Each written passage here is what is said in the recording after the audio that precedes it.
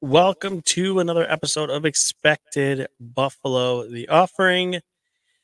And I think I've finally taken enough time uh, to calm myself down from the stressful Yankees game. Um, as you can see, instead of going to the Expected Buffalo hat tonight, kept the Yankees hat on after a nice game three win in Kansas City. Uh, so I, I've I've calmed the emotions here. Um, so I'm not too revved up to talk about uh, the first two games of the Sabre season and the opener um, tomorrow or tonight, depending when you're listening, um, of the season for the Sabres. So we have a lot to touch on here from stuff that has happened since the opener, the opener itself, some takeaways, and then looking ahead uh, to the next few games here moving forward back in North America now that the NHL season is in full go. So let's start with the news thing uh, that occurred here. Not unexpected, but maybe a little bit. I'm a little bit surprised it actually did happen. Um, and that's with James Reimer being claimed on waivers. Um, again, you when he signed and this whole thing was the plan of you know Levi staying in the NHL and then Reimer going to be the three as a security blanket. It all made sense, and there was always the possibility that he wouldn't have to you know, he would end up being claimed on waivers when they sent him down to the AHL. Sure enough, that's what happened here. Anaheim Ducks put in the claim, and now he is a member of the Ducks for we'll see how long. Uh, John Gibson is out for three to six weeks from an appendectomy, so one would leave you to believe they're not going to put Lukas Dostal through waivers. He's going to be their goaltender for now until Gibson is back. Reimer might get a few games. And then once Reimer is, or once Gibson is back, I would anticipate Reimer being placed on waivers again. And then the Sabres have the opportunity to claim him. Now, the important thing here um, that I think people understand there's some confusion on first priority and all of that when they reclaim a player. Um, the rule is pretty simple that if he's placed on waivers again, uh, the Sabres can claim him and send him down to the AHL immediately. They don't have to put him on the NHL roster. Now, that changes, Now, something that actually happened to the Edmonton Oilers recently. If another team puts a claim in on that player, uh, so puts a claim in on Reimer, then the Sabres have to add him to their NHL roster. Uh, they can't put him directly into the AHL. So the Edmonton Oilers just had that very scenario unfold for them uh, with with with um, the I forgot who the exact player was, but one of the players they put on waivers, they reclaimed him back. Uh, there was actually another team that put in a waiver claim on that player too, so now he had to stay on the NHL roster. So I, I know there's been some confusion in the past about first priority and all of that. So that's Rule 13.22 in the CBA. Yes, I looked it up the other day um, just to verify. So there's no really first priority, if you will. It's simply they have the opportunity to claim him back. If nobody does, nobody else puts a claim on him, he can go directly to the AHL. Uh, if someone does, then he gets to in the NHL roster or, you know, let the other team claim him. However, that would so work. I mean, I'm, not anticipating at this point the Sabres are going to bring another goaltender. They haven't done anything. The Amerks season gets underway on Friday, which we'll talk about at the end here. Um, you know, Felix Sandstrom is going to be the goaltender that starts. You would assume, I guess you could say, maybe that's not guaranteed. Uh, that would start for the Amerks on Friday and hold down the fort until hopefully Reimer is back in the organization sometime in November. Um, and then Michael Houser would be the number two goaltender. Maybe it's a split 1A, 1B um, down in Rochester for the time being.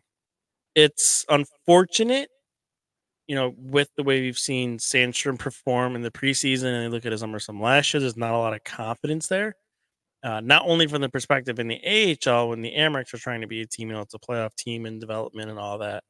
Um, but one injury, something, um, you're right there with Felix Sandstrom having to play games for you for you. So hope it doesn't get to that. Hopefully this is a short term thing, and then Reimer can get back in the organization here soon.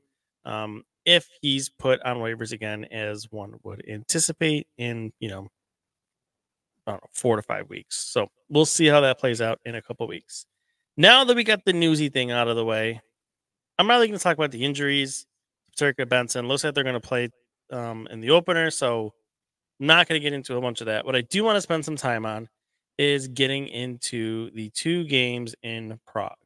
So the Sabres end up losing both of those games. Excuse me. Man, this COVID cough just lingers. Uh, the Sabres lost the two games in Prague, not looking great in either of those games. And there's really, it, it's a lot of things that went wrong in people, a lot of things that don't really give you confidence that they've been corrected in the summer because some of the stuff is carryover from last year. Uh, but you can also the same times, you know, it's well, it's another country, first two games of the year, played the same team. Is it a bad matchup?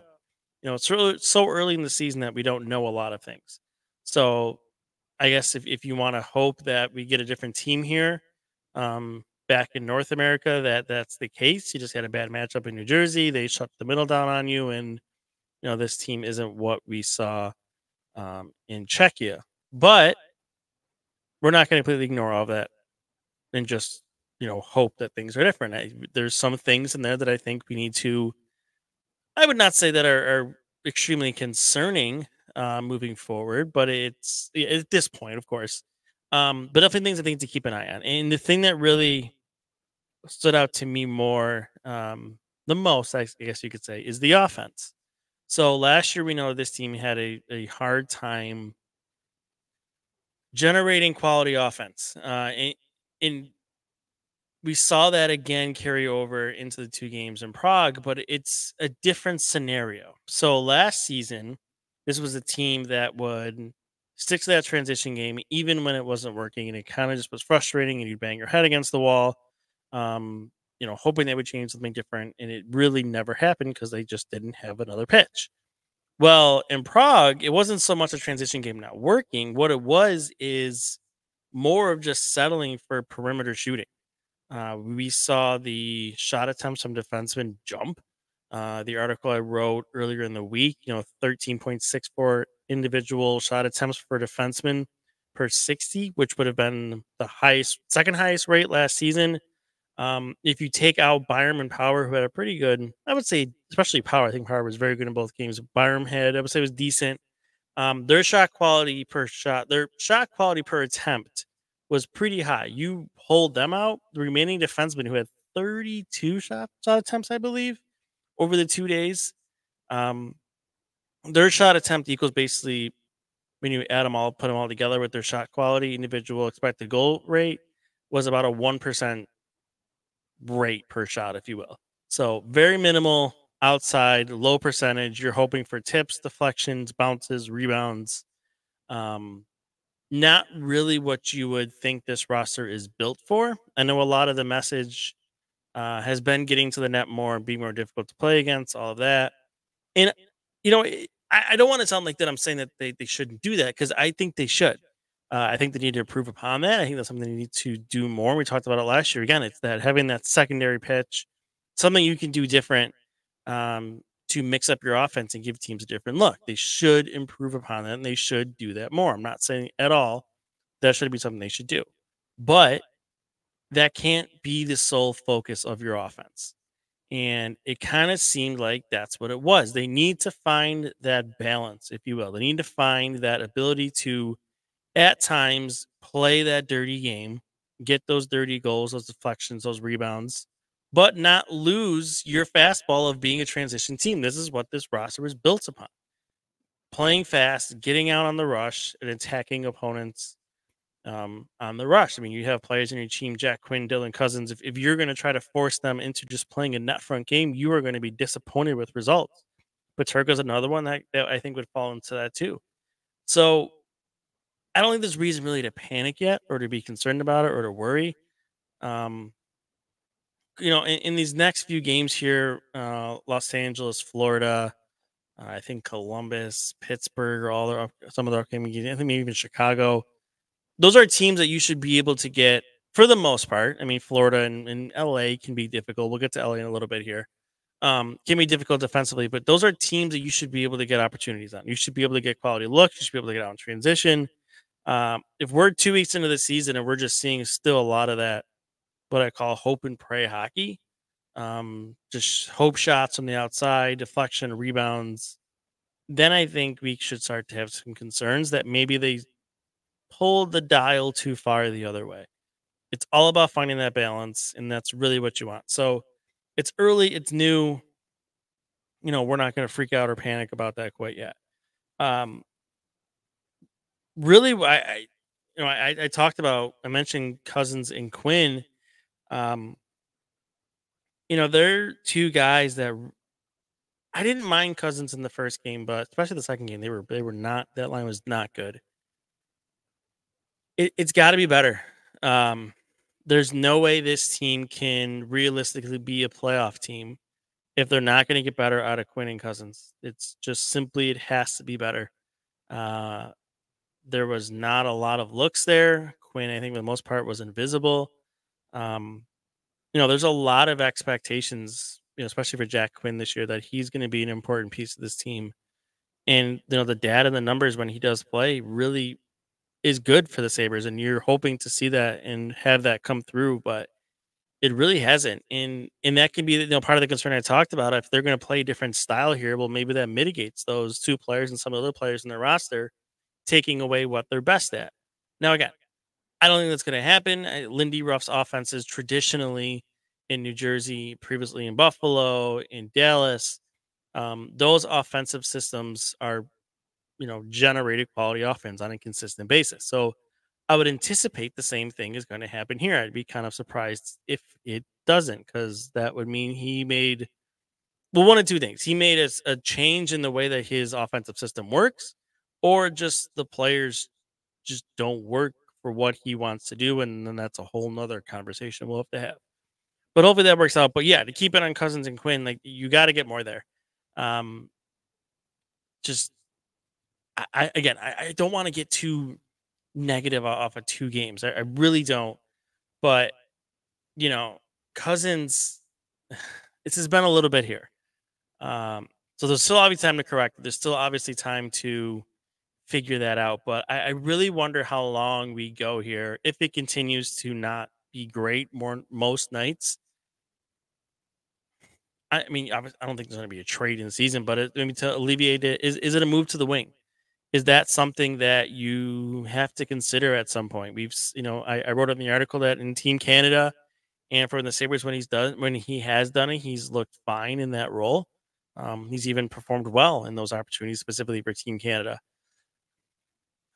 you know, it, it, would leave a hole in the middle for sure. Um, Ryan McLeod would have to step up essentially to your second line center, and then you have Krebs filling as your third, or Lafferty your three, four, whatever.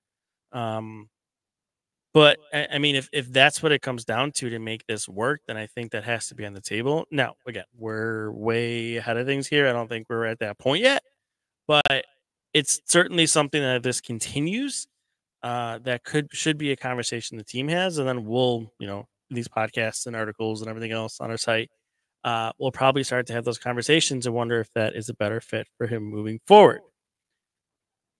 On the good side of things, one guy I really wanted to call out who I thought was consistently strong in both games and probably the best player in the ice for the Sabres was Owen Power. Um, you know, we're expecting a big jump from him this season. Um, and I think those first two games were excellent. They were a good start.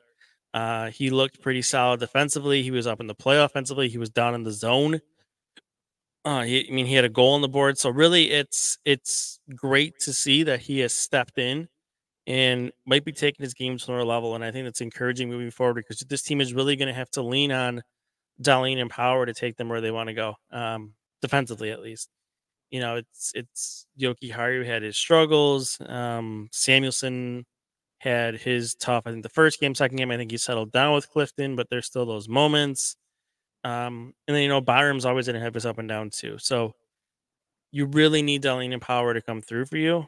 And and I think I mean Dahlin wasn't bad or anything um, either, but I, I think Power really showed was probably like I said the best player in those two games for the Sabres. And you would hope that continues, and I anticipate that it will. You know, he's I'm I'm excited. I mean, you have two defensive stalwarts back there. Now it's just hoping the pieces around them can provide enough stability or enough break evenness, if that's even a word, um, when those two are not on the ice or just as support pieces. So the defense has its concerns for sure. Um, with exits and other things too. So again, hopefully that cleans up as well. I think that was it was better in the second game than in the first game. Um, you know, but again, you know, we'll we'll see how that all unfolds here as we get more data, more views, more information um, as we move forward here. So I just want to call it some positive thing because I'm going to jump back into a negative here before we move off of those two games. Um, and that's the power play. Disappointing, very disappointing. The second unit, I think, was I feel was definitely more effective than the first unit, but really it's you know, it, it wasn't but I guess the good news is it wasn't really just trying to load up Tage and and you know, Appert said that wasn't going to be a thing anymore, so that's that's good that that did come through, but the entries were just bad, poor. Not, I mean, it, it's a lot of the errors that were last year. I know a lot of people. I've I got a lot of things, a lot of messages or replies, responses, whatever, on social media. They should abandon the drop pass, and you know, and that's been a thing a few times people are brought up. And I'll tell you one thing is the drop pass entry is a staple of Seth Appert's power play. Um, that was very big in watching the Amerks in the AHL. But the difference is is it was very successful in the AHL. I think I tweeted at 90 in the 10 games I tracked their power play, 92% controlled entry rate on the power play, which is very good. Well, why did it work in why did it work in the AHL and not two games in the NHL so far? Well, I think the difference is there's still too much standing still in the NHL. The whole point of the drop pass is you're coming forward, you drop it back to a player who has all the speed, and your team is coming basically forward with them, uh, your five man unit against four defensemen that are likely standing still at the blue line or just inside the blue line.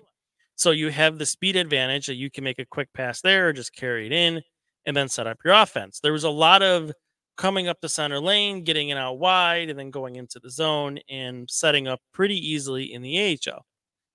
That just didn't work in the first two games. One, because some of the passing I think was poor. Um, I think players were too flat footed on the wing. It wasn't in unison, it wasn't in coordination.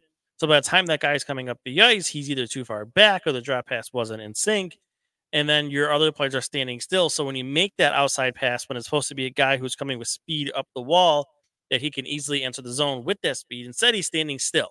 So then he's standing still, gets the puck, tries to then get going, but there's a defenseman right there, knocks the puck off your stick. There it goes down the ice again. So I, I I'm not.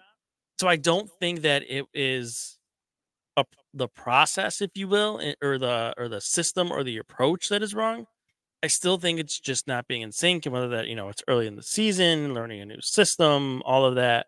Um, I, I think when it looks good, when it works, when they do it properly, it'll look good for them, and they'll be able to set up their offense. But just so far, it's been not good. It's a lot of what we saw last season. And you can't even really off of that, you know, do a dump and chase because again, you have players standing still. So even if you come up the ice, dump it in, your forwards are standing still at the blue line. They don't have the speed, so the puck's gonna go in, the opposing team's gonna get it, it's gonna go right back down the ice again. So they have to get more movement in their entries coming to the neutral zone and entering the offensive zone, or they're just gonna continue to struggle with setting up the power play, and that's gonna be a mess. I do like them moving power to the first unit. I think that's going to help with their entries because uh, they're going to have Dahlin and Power, who are two of the more high end, you know, entry defensemen in the league. So I think that'll help in that regard. And again, just get it set up, and then that's what it looks like. So when it does get set up, they do create, they did create some chances. They got pucks in the middle of the ice. They got pucks in the net.